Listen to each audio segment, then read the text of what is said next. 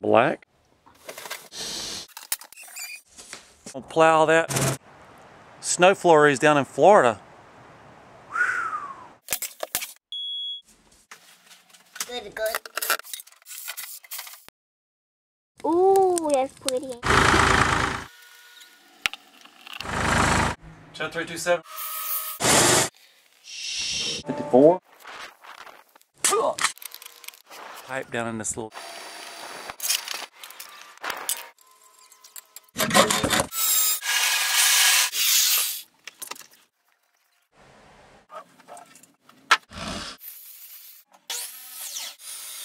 Shutters.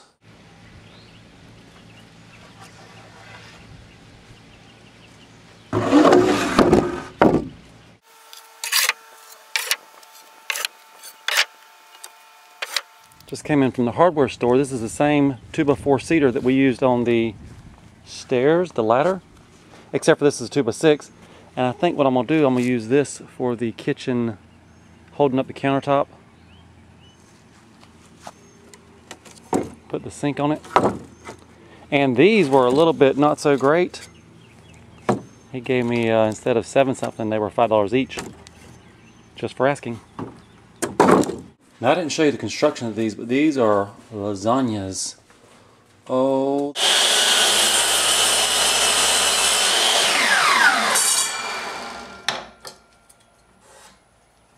Down on the floor, this is what I've got so far for the kitchen countertop. I don't know if you'd call it a cabinet or just something to hold up the countertops, but I've got that, this black piece, that's the form for the concrete. Up here I've got three more 2x4s, they're kind of rough. Now I've got to make legs out of these. I need four legs and maybe some more bracing. And for that end, I've got to cut another two foot. I've got to make up a two by six. So that's what we've got left. Turning the two by four into two by six. I'm gonna rip this, screw and glue that together, and I've got my two by six.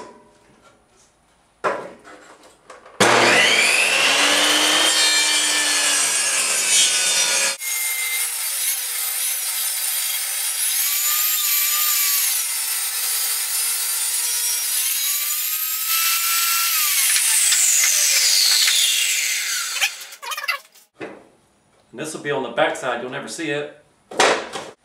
So these two by sixes are about $13 each. I'm gonna use these scraps and do it for free. Gluing it and screwing it.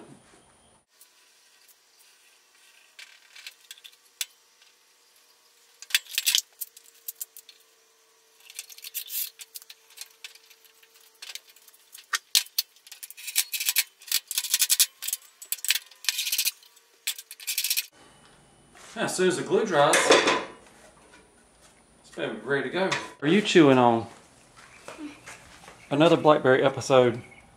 You've got enough to make blackberry ice cream or maybe a blackberry milkshake. What do you think about that? Do we have any ice cream? Mm-mm. Do you think we should go get some ice cream? And find a lot of blacks. Well, I don't know. Do you have enough? Mm-hmm. Mm. Mm-hmm. Quick, some, can't we? Some blackberry ice cream? Mm. Mmm. Daddy, think like I'm gonna get Tom. You've got something on your face, Blackberry. You don't care? Well, On your face? Huh. How about your face? Yours is clean. You want to go to the store and get some ice cream? Mhm. Me too. Let's go. The next day, and this glue is dry. That's now a two by six. I'm gonna do a little sanding on it. Matter of fact, I got a lot of sanding to do. All these pieces need some sanding.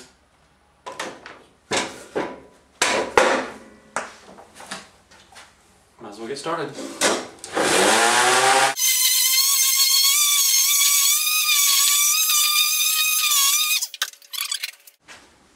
You can tell the two different boards, but it's going to be on the back side.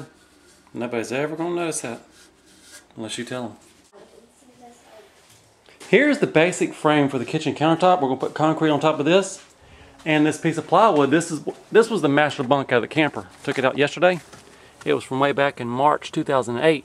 That was right before I started filming stuff for YouTube. That was right when I started my YouTube channel. I think it was December 2008. So you just missed this build. Now we're going to rip this in half. This is going to be what holds the concrete for the kitchen countertop.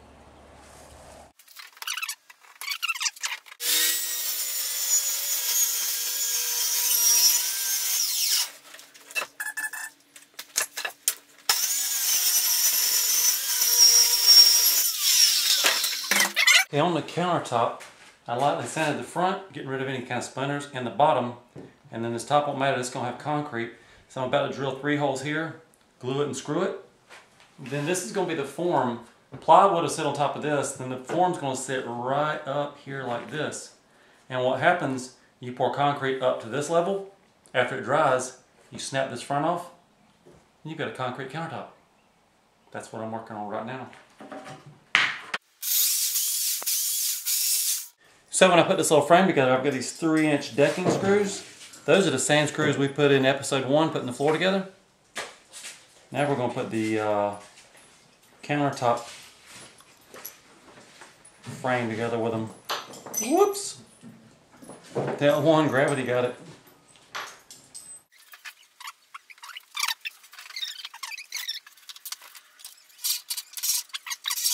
So I flipped the frame over and I put a 2x4 in. This, the plywood is screwed to that. We'll flip it back over, put the plywood on. But first, I might go ahead and put the legs on. The legs are gonna go on just like this. And then somewhere there'll be a brace that goes across. There'll be a shelf here to put whatever on.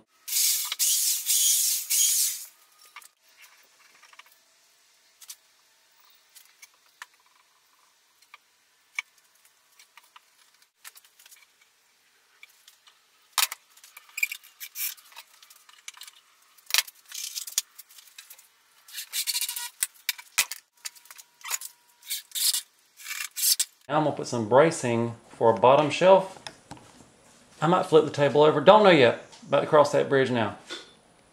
Okay, the legs are now on. I've got it turned upright.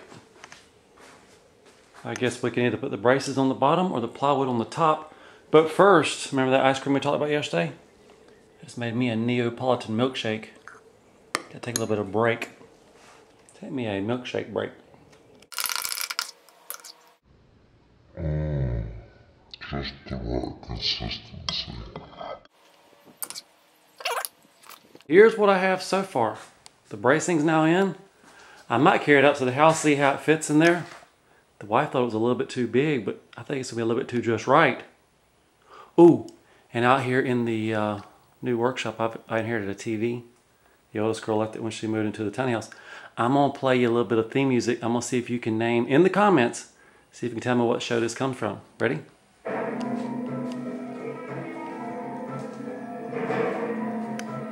Is that enough? Leave me a comment. So this is a good wood shop where the block wall meets the wood wall. It's got a little ledge. That ledge will be good for putting like your uh, wood glue, your boxes of screws. I should show you what I'm talking about. The wood glue shelf. Like a box of screws shelf. Oh, and also, I brought the gun rack in from the camper. I'm gonna hang that on the wall. That could be a gun rack. It could be uh, you can hang your cords there. You could hang. Uh, I don't know. There's several things. More good place to put your boxes of screws. Mm-hmm. And we're going to the tiny house. I put the uh, I don't what to call that thing. The uh, countertop frame. It's out in the tiny house, and there's a slight problem with the plumbing. I got to move one board. Uh, here, come go with me. And the kids have got this little boy on a little raft floating in that bucket of water. And I thought, man, that's just too cute right there. Look at him in there. He looks kind of like an alien at this angle.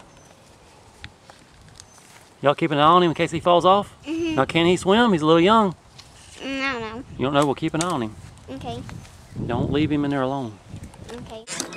Okay, I'm going to show you what I was talking about. That back brace, the bottom, that one that goes across. See the water supply lines? Uh, see the clean out? So what I'm gonna do, I'm gonna move the board from the back position to here. So that I give it more clearance, it's gonna work out just right if we do that. Easy fix. And the good news is, I didn't glue those on. They're just screwed on. That's the best news. This is the countertop in position. The strap holds it square. The pipes are clear. There will be a valve here, a valve there. The drain goes here. Down here, this will be a bottom shelf. This will be the concrete countertop. Sink will probably center up with this window. Gives you some counter space over here, and it gives you some counter space over here. And that's what I've got so far. And yes, the bathroom door does clear it. By the time the countertop gets on there, it'll be about right to here, so we got a good, what's that, five, six inches of clearance? All right, good job. This started out as two fish, and now it's more than two fish. See that tree right there? That's my magnolia. And I got a blackberry same size, maybe bigger than that tree. Look at that blackberry. That's a blackberry. Now it's gone.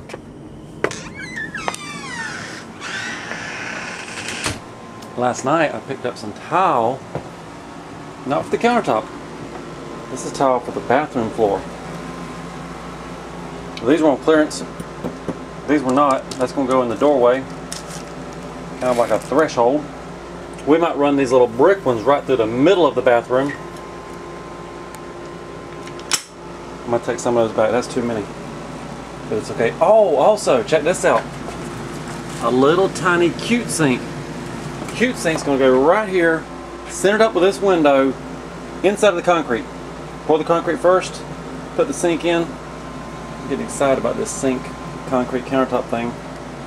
And the bathroom tile floor. And this is what the bathroom floor might want to look like. Got some variety going on. Small square tiles, little bricks there. And then a large rectangular. Got a little threshold.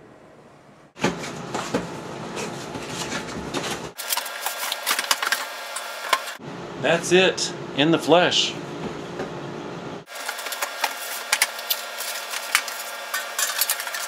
Just like that. Too cute. Looks like one of the kids took a avocado pit, put it in water. Look at that root. We might be going to have another avocado tree. Mama cat and her five little ones. Gardening update week eight.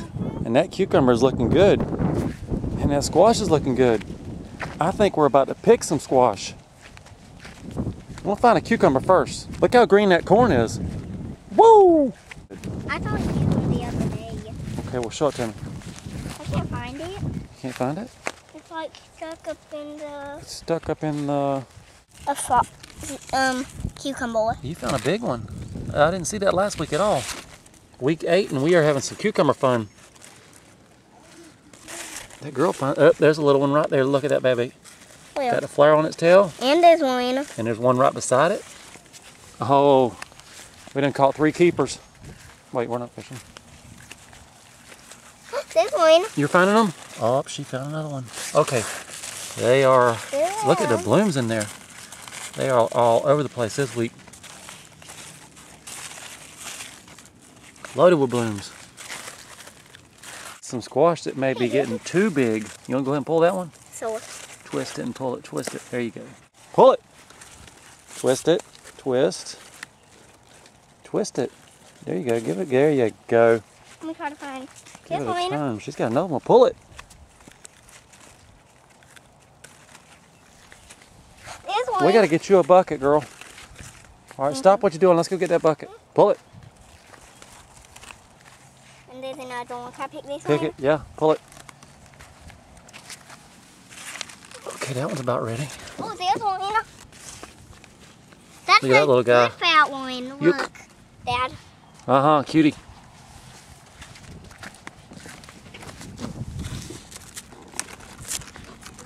Close. Zucchini check. There's a dead zucchini up in there. Oh, good. Get out of here. That one's got about three good look ones on it. If you look right there, there's a caterpillar. I think he's having some squash. Oh, he's rude. Daddy, think I could pick that one? He thinks it's lunchtime. Chewing on some squash. That's probably the best example of watermelon that I've got. There's a couple more little watermelon. There's some onion. And if we look down here on the end, we've got some sunflower. You want to stand by that sunflower so I can see how tall it is? Go stand beside it. Let's call it waist high. It's taller than a dog, a short dog. And this is about how tall the corn is, almost head high. And here's the okra, not much bigger than last week. Slow going. That one's the red stripe variety. The knuckles are red. He's trying to find the squash, I guess. You're on the wrong road. This is the corn row. See?